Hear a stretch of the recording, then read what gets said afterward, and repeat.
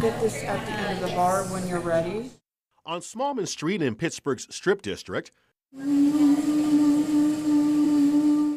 new coffee shop is getting ready to open its doors. Three, two, one.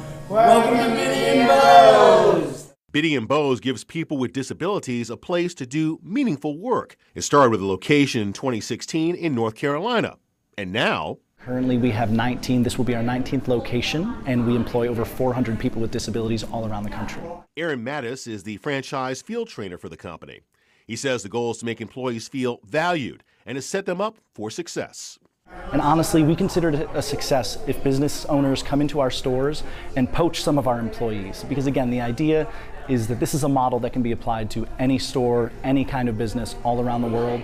The shop's message, so clear, it's even written on the wall, changing the way people see other people. I love it, and I love that there's like, you know, different locations and that they're inclusive for people with disabilities and, you know, hands on support and just a great job to have. Employees are excited to get to work How you feeling, Sarah? good. Good. All right, cool. and have some fun.